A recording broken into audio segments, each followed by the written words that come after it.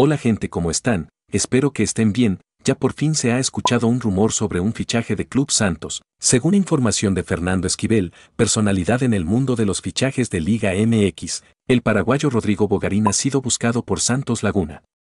Se habría mandado una oferta formal y se espera su respuesta en los próximos días. Su último club fue el Libertad de Paraguay, juega de mediapunta y llegaría como agente libre. No lo veo nada mal al jugador, pero para que se den una idea cómo es que juega Rodrigo Bogarín, dejaré una recopilación de varias jugadas del jugador, así que sin más que decir comenzamos.